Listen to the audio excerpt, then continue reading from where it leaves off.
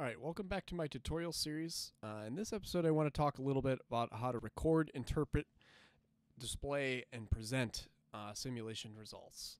Uh, and this could apply to any type of simulation. This isn't necessarily just um, Autodesk Frame Simulator, or rather the Frame Simulator within Autodesk Inventor. This could apply to anything. Um, but the two examples I'm going to use in this case are from that realm. Uh, potentially, I might make a different one that talks about other projects I've done, but I don't have access to that software right now because of you know the whole global situation. Uh, anyhow, uh, this is the uh, kind of the rough, pretty quick simulation that I did for my senior design project, which was uh, the five-person tandem bike. Um, uh, what we wanted to do is basically make a five person tandem bike, but we wanted to be able to take segments out so it could be anywhere between one and five. Uh, and what that meant was optimizing the frame strength for having five people and then also pulling load numbers uh, for uh, what what it would look like where the connectors were. And so that was uh, how we used the um, the frame generator. You can see a side view of the frame here. Uh, in the analysis software, we've got one contour plot of displacement, one contour plot of strength. Um, I would say this is the bare minimum. I would also, if you're going to do more from here, obviously more angles. Uh, in this case, it we I can kind of get away with two because you can see everything in the frame with no with no uh, nothing blocking each other, all in one view. And that is one thing that makes doing two-dimensional frames a lot easier than 3D frames. Um, but additionally, I also have a probe down here uh, at this node where the um, where the where the load would be pretty high, but also where the connector would be. So in this, I don't obviously don't have the ability to model a specific connector like with threads and whatnot within uh, Autodesk uh, Frame Simulator. So what I did is I pulled a a a uh, a moment and a force on that on that bottom link there, which is right there, uh, and put it into this graph or this table rather. So for every single segment or every single um, every single configuration is what I called them. This being configuration one. Um, I have for every single configuration, I have a set of screenshots on a correlating slide. So this is the set of screenshots for configuration one. I have what size uh, all the different tubes are. So in this case, we had a fixed geometry. Uh, the geometry was fixed by our some of our other design constraints, so it actually made it a little easier. So I only varied the tube wall thickness. Um, geometry is something that is a much wider design space, but if you can narrow down your geometry, kind of using some using a couple initial simulation results, uh, it can be a lot easier to narrow that first and then pick your tube sizes based off that geometry. So what we did here is we had fixed geometry, and I have each of these is um, each of these is what the tube wall thickness is. So you can see they're labeled um, 1, 2, 3, 4, 5, 6, 1, 2, 3, 4, 5, 6, and then in every segment, 3, 4, 5, 6 is the same. Uh, and bold just means it would change from the previous one. Um, and um, so you can see here are all of the parameters that I recorded for everyone. So I recorded weight, uh, I recorded deformation of the middle bike seat. So you can see I have a probe there at the middle bike seat as well. Um, the max stress in KSI, uh, the max force on the bottom link, uh, the max moment on the bottom link, uh, the max a moment in, uh, on the bottom link in foot pounds, uh, the strength of the yield strength of the steel that we were using in this case 1020, which is pretty generic cold rolled steel, um, and that was so that we could calculate a factor of safety. Uh, so in this case, we wanted to be able to visualize. Um, our primary concerns were displacement versus chassis weight. We wanted it to be pretty light, and we wanted it to be pretty rigid. We weren't too concerned about factor of safety because they're all really high. And in retrospect, that means that my tube thicknesses needed to go down a lot, or the or the size of the tubes, or something. Basically, what that's telling me is that the tube the tubes that I've picked are pretty oversized, and this was a really over beefy design. But within that design space, you can see that we've got options here anywhere between about you know 65 pounds and 53 pounds, and the displacement of the center seat from 40 thousandths all the way down to 30 thousandths. Uh, so you don't, I don't have a ton of a very wide range of uh, of configurations here because I was in a pretty big rush to do this. But um, something you could consider doing would be adding more configurations based off the first round of results or you know present once you've presented these results maybe some of that feedback might be oh you know these are all really heavy options. Could you come up with anything lighter? We're willing to give a little on the displacement. So then you go back and add another row of configurations.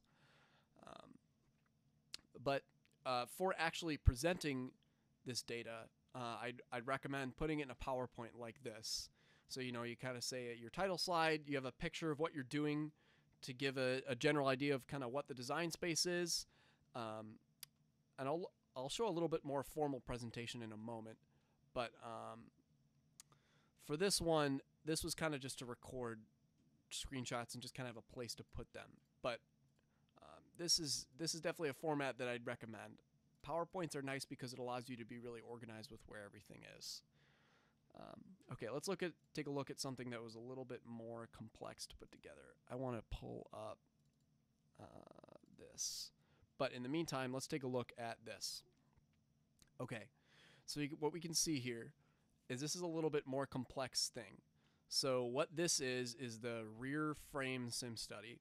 Uh, so basically, everything from the roll hoop back was done in its own group that's another trick that I've used in the past is to separate them into groups. So I started with uh, with the middle section here, and then moved on to the front, and then to the rear. Uh, and they, they all take a little little bit of time, but it's a lot less time than if you tried to do it all together. You know, if you have five or six different choices to choose from from each section, and then you got to do those all intermingled with each other.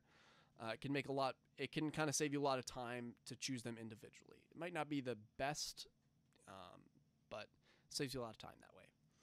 Okay, so for the rear here, we've got um, basically all these tubes here are, uh, some of them are required by the rules, and then um, and then all the other ones are ones that we add. Some of these are to imitate other structures. So, for example, this box is a big aluminum box, and these four right here are the engine. Um, so those are not actually part of the design study, but these other ones are. So basically you can see again I have um, I have the uh, the main hoop, main hoop brace, and main hoop brace support are all fixed. Um, they're they're all set by the rules, so you can see they don't change here. Um, but then all of the other stuff here is kind of it's fair game. So basically, what I was trying to set out to do here is figure out which which tubes making them thicker would have a bigger impact on the torsional rigidity, which is what I'm measuring at the end of the day. Um, so again, this one I've done pretty similar. I kind of flipped it a little bit. I have the parameters that I'm recording up here, and then I have the um, and then I have the and then I have all the tube thicknesses down here. Again, bold just indicates that they changed from the previous one. So what I I typically start out by doing a rule required tubes only. I do a minimum, make everything the minimum it can be, uh, make everything the maximum it can be, and then honestly, by the time I get there and usually look at these three results, uh, by then you can look at this, all, all of these, right? Um, you can look at the displacement and the stress of every single one. And you can kind of start to get a sense, kind of using the displacement and the chassis weight. You know, okay, I've got a range of four pounds, and I'm uh, changing the node by anywhere from a quarter inch uh, to, uh, you know, 188 thousandths. So you can kind of get a get an idea of where your design range is, and then you can try to optimize. And so essentially, what we did from there, or what I did from there rather, was uh, think about, you know, well, what what changes made the biggest difference, all while recording everyone, both in screenshots and um, and in actual numbered parameters. And the reason I say you need both um, is because when you're actually presenting these results, you really want to be able to see where that stress is. Uh, and it's nice to have a visual aid when you're talking about it, and it allows you to kind of more fundamentally understand it. If you're only recording numbers, uh, it's it's just gonna kind of be you're you're picking the best one, you know objectively, but you also do want to use some subjectivity here. Like you know if if a couple tubes are are really stressed, but it shows that it's very efficient, you know it might make sense to take the that single tube down a, uh, a size or two. Um, okay, so back to this tool. I kind of mentioned this briefly in the last one, uh, but this is a tool that I've been using for a while now, and it was something that I came up with when I was doing a project. I don't know if this is really the correct way to do this, but every time I've presented it, uh, it seems to get pretty good feedback, so I'm going to stick with it. Um, and essentially, all I have is a graph of displacement versus weight again. And all I did was I graphed a point. I can go to select data here. I graphed a point using and I clicked the x value to, I used a scatter plot. I made the x value as the weight. So Alt 1, reported weight. And then, um, and then displacement of the front node. Uh, again, I clicked that, and then I made the label uh, Alt 1. And then I, I just turned on data labels for the graph. And what it allows you to do is kind of visualize. You can see that there's a trend here, right? Like, and that trend, if you, that's a good sign. That that trend should exist. That means that um, as you go as you go up in chassis weight, uh, it gets more rigid, which makes sense. Um, but what you want is you actually want a design that's far off the trend. So, for example, this is the one that I, I think I ended up recommending because it's one of the lightest, but it's kind of on the better side of that trend as well. Um, uh, so and this is a great tool. Uh, you know, if if you're presenting to a room of people and you're showing them this table and these graphs, that's really hard to read. But if if you've decided that your key priorities are displacement and weight, it makes it pretty easy for people to visualize. Now, that's not to say that you also couldn't make um, you know, you, you could do a three dimensional plot with a third parameter. You could change displacement out for a factor of safety uh, you know, there's any number of things you can do with these presentations, but um, just going to look at an example of a presentation here real quick. I think this is a different one. Forgive the cheesy design. But um, basically, I was just describing, you know, the, pretty much the same things I talked about in the last video. This was the first time I had changed from uh, using a solid body simulation, so I was kind of explaining the difference. Again, um, I, I talked about what these different things were. But again, looking at this for the first time, it's pretty much impossible to understand it. So you have to try to. Um, I, one thing I did in in a later one, like in this one, was I talked about okay, this one is the minimum. This one is you know mostly the maximum tube sizes. This one's uh, you know, and it can start getting hard to come up with two or three word descriptions, but uh, to people seeing that for the first time, it's really helpful. Um, and then I talked about the results here, and again, recommend uh, showing this graph because it's really helpful to people to be able to visualize it. Uh, and then I'd put all your screenshots so you know, hey, okay, I, am People might say, okay, I'm interested in that one. Let's see what the stress contour looked like. You say, okay, you know, here's where we're looking at our stress concentrations. Here's why I made some of the decisions I did. And it, it also really helps uh, if you kind of present these as objectively as you can and then show the graph and say, hey, you know, here's the one I'm thinking about recommending to you guys, but I wanted to show you and make sure first, walk them through your thought process. Uh, and it's a lot easier to get buy in for your design if people are giving input on on the decision. And you know, it's often oftentimes people will come to the same conclusions that you did, but it also is helpful for you because they can especially when you make it in a so easy to look at like this, if you did it properly, they can help you make recommendations like, oh, you know, if everything's really on a, on a if everything all your results are really linear, then you know maybe you got to try some some more different designs and get something that's off the curve.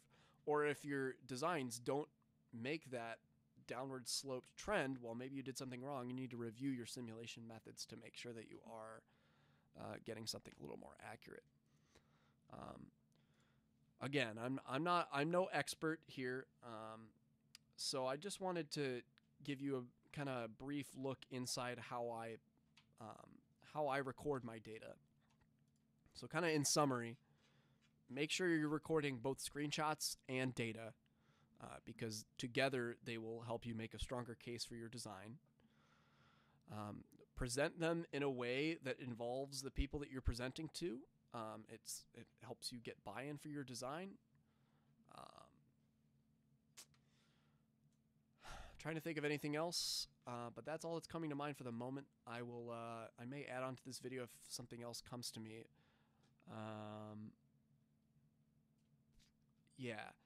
Okay. Uh, the one thing I might add is like, I was kind of alluding to it earlier, but think of it as an iterative process, right? You don't necessarily have to do all of them once.